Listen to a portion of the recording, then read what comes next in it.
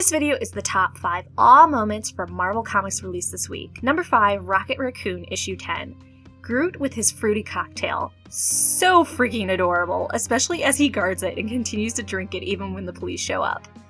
Number 4, Night of the Living Deadpool issue 3. The Deadpool Heart. Aw, we love you too, Deadpool. Number 3, Wolverine issue 13. Siphon being given a Wolverine costume. A really touching moment.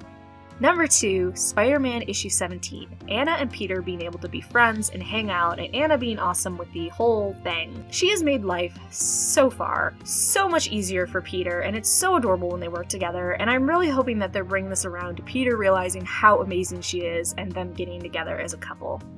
And then number one, Ultron Forever issue one. New and past Thor clinking hammers together and broing out. Yeah, it was a little sad, but the hammer clinking and fighting together was pretty awesome. So those were my top 5 awe moments from Marvel Comics released this week. Viewing right ears below.